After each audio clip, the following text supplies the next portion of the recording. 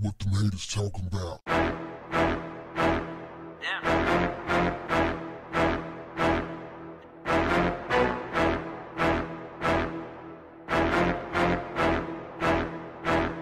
What's up, family?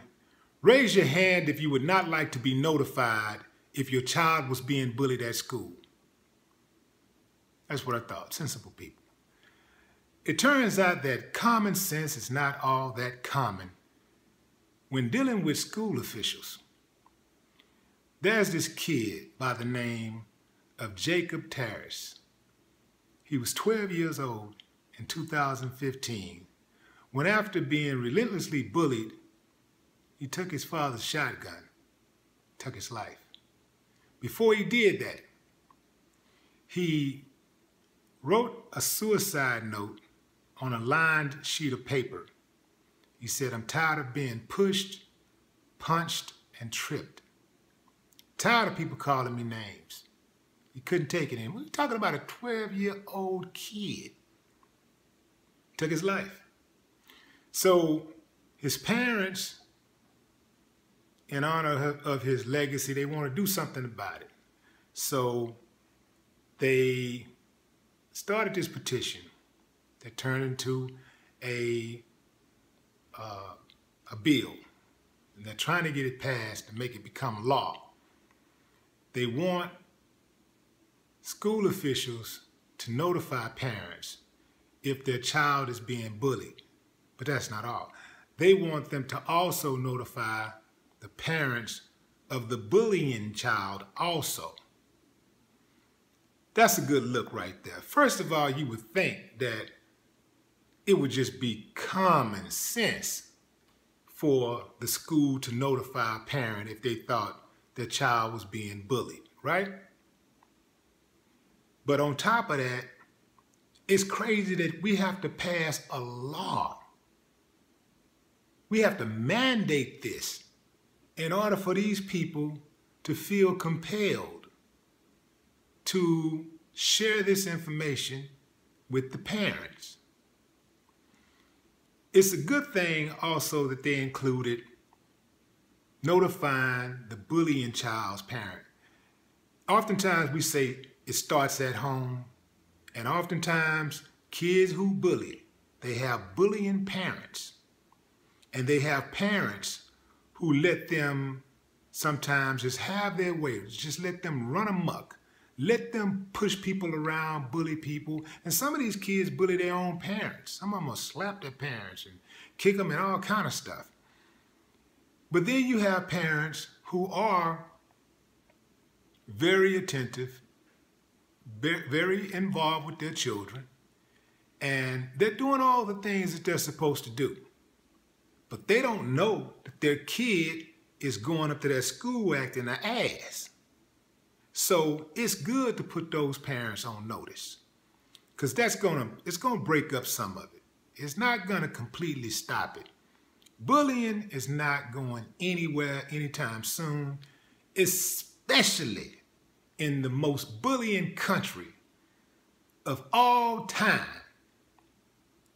We get a we got this fixation with bullying in America. We love some bullying, man. Oh man. You know, it's it's crazy too because a lot of the politicians, they're quick to pass a anti-bullying law. This this thing, you know, they quick to get behind it, right? But at the same time, they bully the American people and they also bully their allies abroad sometimes. And they damn sure bully their enemies. Amazing.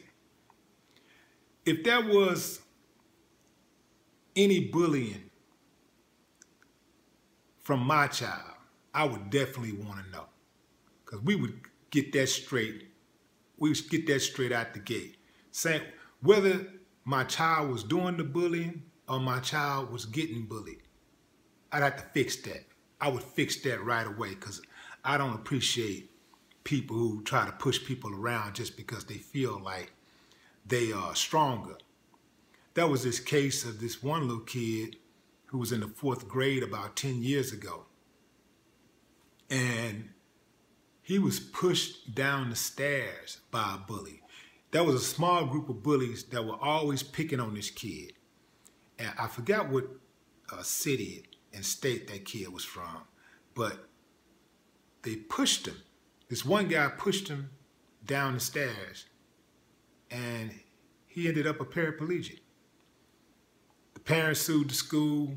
They couldn't get anything out of the school because a lot of these schools have torts, and you know they have these these laws that state that the school cannot be responsible for not pre preventing uh, injury to your child or your child being emotionally or physically abused, even killed. Uh, they can be held liable if they actively create circumstances that leads to your child being bullied or harmed in some type of way. So it's important to know that.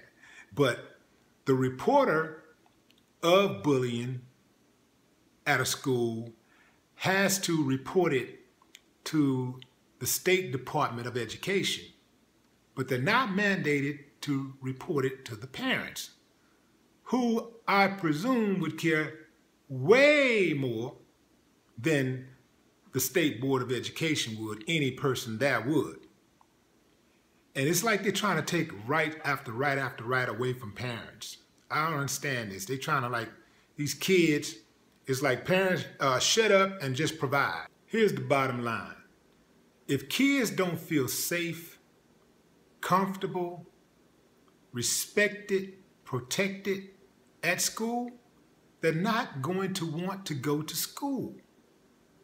It's as simple as that. You can pass all the laws you want to pass. It's not going to change anything. Look at all of the laws that we have in this country already. How many of these laws that we have actually work? I mean, that's really just really, really effective. This comes down to America's lack of compassion for one another. Americans' lack of compassion for one another. That's what it comes down to, man. Lack of dignity, respect. There is none. And it starts at the top. Leaderships always start at the top.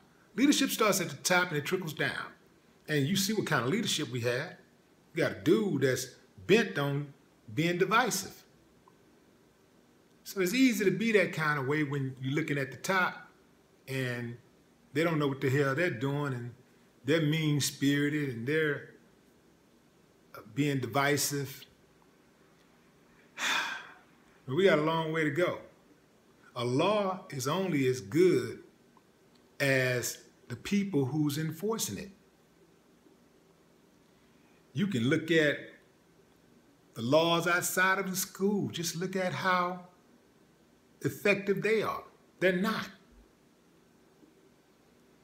People don't kill necessarily because they don't want to go to jail. Most people don't kill because I do believe that they don't kill because it's the right thing to do. They have compassion. Because I do believe if somebody want to kill, I don't give a damn what the law say. They're going to kill. So you got to work on people's minds. You know, these kids that doing all that bullying, man, these kids are bullying because they messed up in the head. And they need psychological evaluation. They need counseling. And a lot of them parents need counseling. They, the parents didn't get counseling when they laid up and procreated. So they ain't even got themselves together. And they already brought babies into the world. And now what you think gonna happen? Exactly what's happening. So a law is only as good as the person who is enforcing the law. And I'll take it even further than that. It's only as good as the person who is abiding by the law.